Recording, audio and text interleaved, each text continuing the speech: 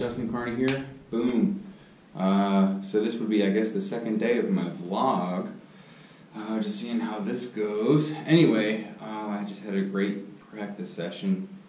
Um, I was working on my right hand. Um, I saw a video recently by the drum channel called Be the Drum, and they had a video about. Um, it was Antonio Sanchez playing on the drum set, he was talking about how he hits his ride cymbal a specific way to get the sound of the cymbal to ring out.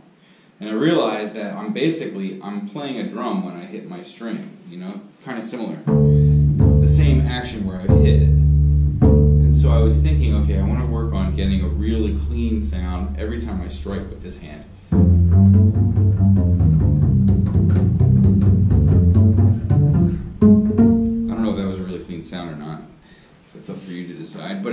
Point is, I've decided that I'm going to be playing, trying to play not from the pads of my fingers, but maybe from the side a little bit. Because I think it adds a little bit of a punch to the sound. So that's what I'm going to be practicing. It's a lot more awkward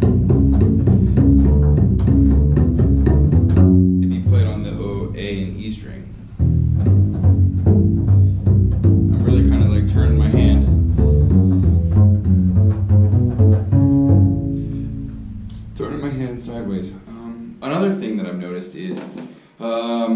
Some bass players who I think have really great intonation. I've noticed that they have their elbows down and their wrist like this. And I started to play like that.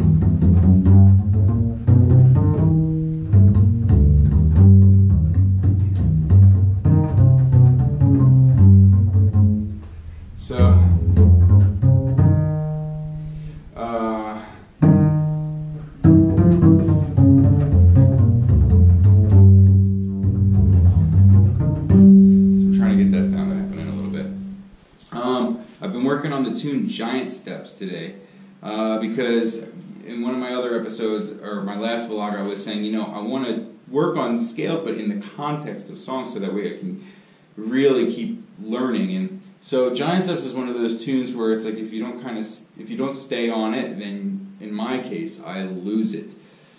So um, I heard some great musicians play it the other day and so I really wanted to get it under my fingers. I played along with the record, um, and I was able to, you know, keep up with the group, playing with both hands. I wasn't, I didn't have really good speakers, so I had to play kind of soft, um, and I was focusing on just hitting, um, leading through the chords, but with roots and fifths.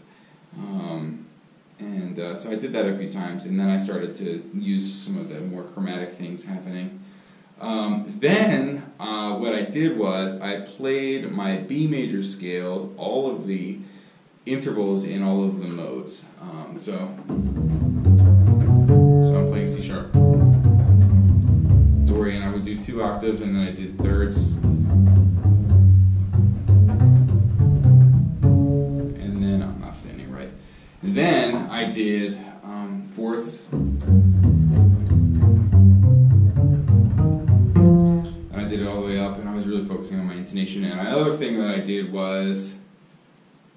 fifths, sixths, and sevenths. And B is a hard key for me, so that's why I was really focusing on B. Then I just did a little bit of time in G where I was going nice and slow, focusing on this hand, and then I did the same for E flat.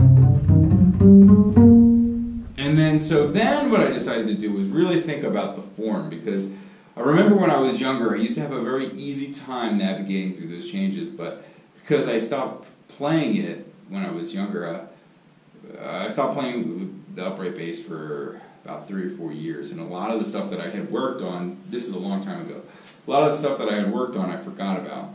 Uh, and this was one of those in particular songs. Uh, and so I remember I used to feel comfortable just switching the keys um, and but now what I wanted to do is go through and think about all of the connections that I can make for this song. Um, and so I made a few. Um, if you notice that when they're playing the melody, or the first half of the song, it starts in B. So. So, um, so we go to the B major seven, D seven, G major, B flat seven.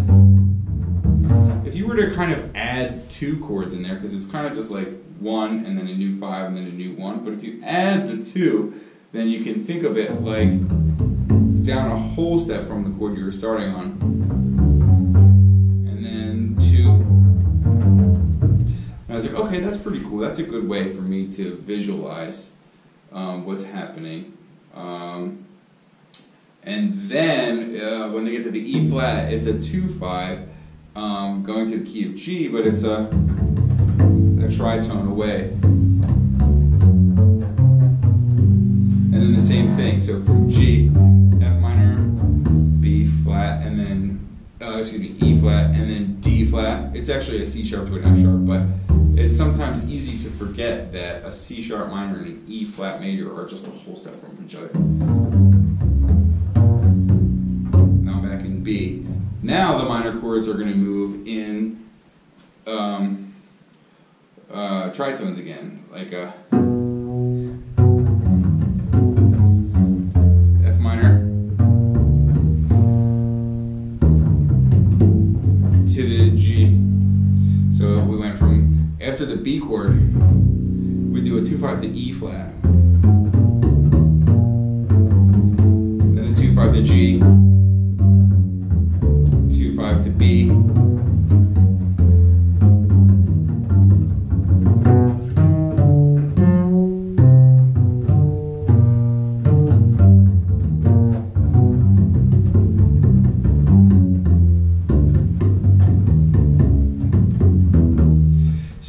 hear at certain times the chords, um, the roots move only just like a whole, you can think of it as like just moving a whole step, and then other times the chords go the tritone. And uh, so that kind of thinking about that sort of connection helps it get into my head. Another thing I like to do is think about when I'm playing in this in the through the song, think about landing certain notes of the chords right on the ones because I feel like when you get to beat one, that's kind of in my mind the end of a phrase instead of the beginning of the phrase. Um, one, two,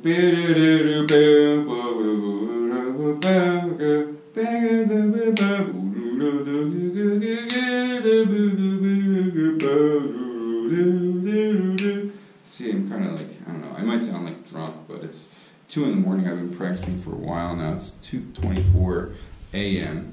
I've been practicing for a while. Um, but, you know, this is what it's all about. So, I'm going to probably put giant steps down for a little bit tonight. Um, and what I want to work on now, uh, there's a bass player. Sorry, I'm going to move the camera. There's a bass player named Chris Fitzgerald. He's I, he I, I mentioned him earlier. He was the one that did the Bach Bachrilage video. Anyway, I got out my old Bach book, um, and you'll probably notice it's actually in pretty good condition. I've had it for a long time, but I was so intimidated by playing this up the octave, you know, arco that I was like, all right, I'm going to save this for when I'm in my 50s. But uh, so he's doing it in, you know, down here, um, and he's also doing it pizzicato. So I wanted to, you know, go ahead and do that, um, and really focus on the articulations and the sound that I'm getting. Um, and he recommends doing this because he says that the two, you know, the Bach and the um, bebop go hand in hand together. So that's what I'm going to work on tonight. It's just some bebop, I mean, excuse me, just some Bach, and I already did the uh, giant steps, and I worked on my time, and I went through the scales, and I did a lot of that stuff too. Anyway, thank you guys. I'm keeping this short because I only have 10 minutes apparently. Love you guys. I'll see you guys in the next one.